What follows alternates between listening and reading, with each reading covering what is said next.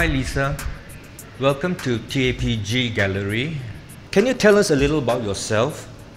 My name is Lisa Wong. Uh, I'm a young Malaysian artist. I studied in the California College of the Arts with a BFA in illustration.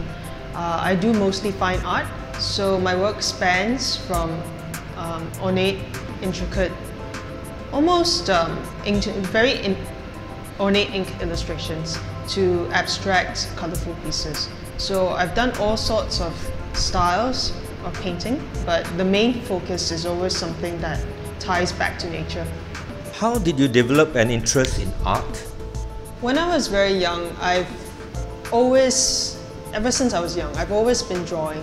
And um, I come from a family where we've always had an interest in arts and literature and you know, we, we developed a habit of going to museums at an early age.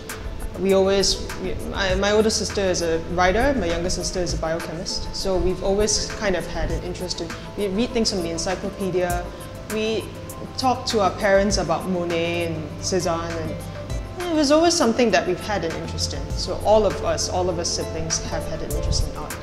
And I think it was very natural for me to progress into art. It was always something that was very innate and I have, ever since I was young, could never focus in school. So I was always drawing in my textbooks. And eh, I think I got more wrong answers than right, but more, mostly my textbooks were just filled with drawings more than anything else. Probably not good schoolwork, but drawings. How would you describe your creative work? So my creative work spans from, like I said, from ornate illustrations to abstract pieces, but they're always very nature focused. So there's always kind of um, an homage to the greenery that I've kind of grown up around. So I'm from Kuala Lumpur and I feel that um, you know, nature is always all around us. So even when we're on the highways, you will pass by patches of green. Uh, I have a, I, I stay with my um, parents and we have a really, really nice garden. So there's always just kind of like this, this, it's almost like I'm almost swallowed by, in a sense, like just the amount of like foliage. And it's just very natural for me to gravitate towards it. And in a sense, my artwork comes from a place where I'm committing these like shapes and forms to memory and I'm placing them on the canvas. So it's almost like journaling like what I see. It's almost like, okay, I see this, wow, that, that, that's, that's a beautiful shade of hot pink on that leaf. Like how did that come to be in the natural form? And I, I just want to com commit it to a canvas. Like I want to translate it down. Like you know, I want to commit it to memory. So a lot of my work just comes from, just it's almost like a form of journaling, really.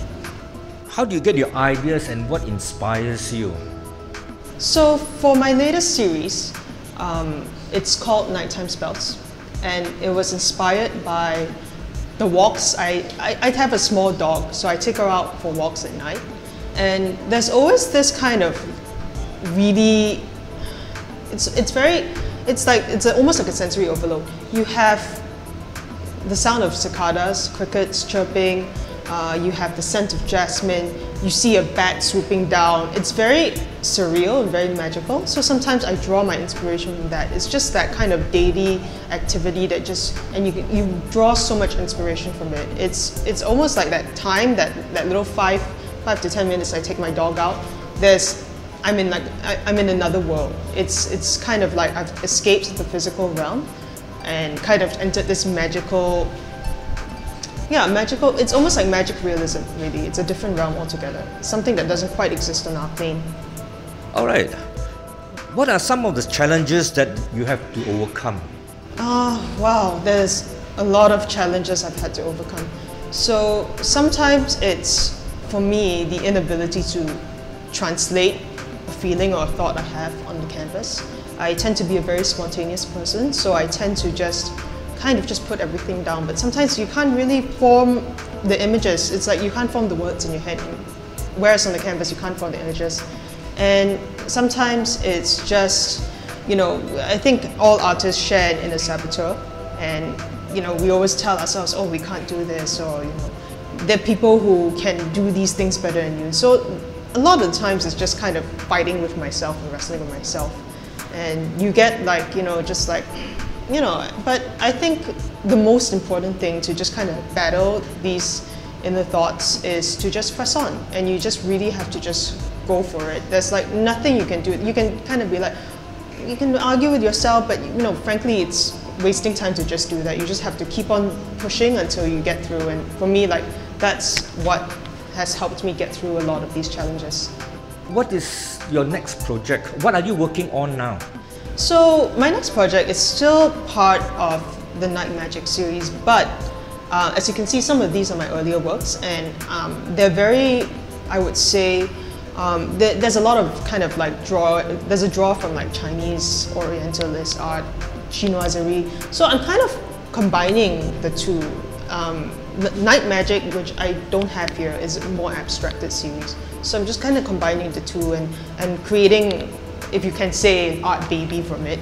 So I think uh, you haven't, I haven't shown any pieces from that yet, but I'm currently working on it, so look forward to it. What are the lessons that you can share with others? Um, for me, one of the greatest lessons is having a really good relationship with an art gallery. So, and I think like just like form, like you know, getting to know people behind you know your art, like who are helping you support your art, and just you know learning to like, I guess communicate about your art is very very important. Just it's it's all about relationships really. That's what I've learned. How do you feel like going international? It's a very daunting thought. It's daunting, but at the same time, I think it's really exciting. Um, I personally would love to reach a global platform, and uh, I hope that it gets there. I hope that you know uh, I have exhibitions as far as the states. I've so far, I think the furthest I've gone is Spain and Paris, uh, but so far would, uh, it's just Europe. I would like to reach a global scale, so hoping to reach North America. I got to know Lisa Wong from a friend. She, she was in the masterpiece auction with some of her, her work. She asked the manager in auction house, who is the who can you recommend an art gallery that can present her? She want a good established gallery. And the manager, Sharon Look, invited her and the parent to my gallery. And we had a discussion and that was the first time I met Lisa Wong and the parent. What I realized that both parents are hardcore about art. They love art. They've been collecting art even when she was very young. So I was telling myself I'm dealing with the right person who really know how to appreciate art. And I'm very, also very happy at least the children start to enjoy art and also ended up as an artist. And uh, at that time, four years ago in 2016, Lisa Wong was still very young then. And I was telling myself I have no any young artists in my gallery. And I like to help all those emerging artists. I see a potential in her. I saw her art. I said, there is a certain market for young people because young people are very dynamic, they're very creative, and I saw some creativity in her art. So I called her in, and at that time we had the first art group show in my gallery. That was actually the launching of my gallery in the year 2015. We have 80 artists participating, 160 painting, and he was one of them. And uh, we have uh, a lot of people coming in. At that time, I remember I have five or six icon artists, senior established artists, even at the exhibition. So at the exhibition, we get to know each other very well. And later on, I proposed to her, why don't you do another group show? We do another group show. And this is how she got involved in the group show and he sold her painting. That gave me the confidence and he was also confident her work sell. Then we make a proposal that why do we do a solo for her? And uh, this is how we had a solo and we sold a few pieces. Then we also have an art talk some student came in from other university and she was one of the speakers and I want I needed her to explain to her to the young people about art. This way I think it was a good education for, for the uh, university student and also for her. And later on, I asked her, would you like to go international? And she said, yes. And that's where I had an ex group exhibition in Hong Kong where my daughter Joy looked after the place and we have the group show in Hong Kong. Later on, we had the another art exhibition in Hong Kong in the Hong Kong Convention Center, the affordable art. And he too sold a few pieces. And then again, I was encouraged, both of us were encouraged that I'm very happy that I, I see a potential emerging artist. And later on we had, uh, I organized, we, we participated in Madrid show, Ex Art Expo in Malaysia in the year 2018 and 2019. And true enough, in both occasions, her painting are sold. So this is where I believe that he has a potential. This has been proven not only by me, but the market in general. People can accept her painting. So congratulations. Yeah, uh, thank you, Lisa. thank you, thank you. Lisa, um, now that you've gone international, what are your, what are your thoughts? Um, I definitely think that the international market is extremely different from the Malaysian market. Uh, the things that are consumed over there are very, very different in terms of aesthetics and visuals, but also in terms of kind of the dialogue between the other the artists themselves and the viewer. So I, I think that definitely I want to help to take Malaysian contemporary art on the global scale. Uh, but I also want to be distinctly Malaysian. I also don't want to be saying like, okay, well, let's just try and westernize this as much as possible. I want to stay true to myself and kind of try and communicate that while also representing Malaysians to the world.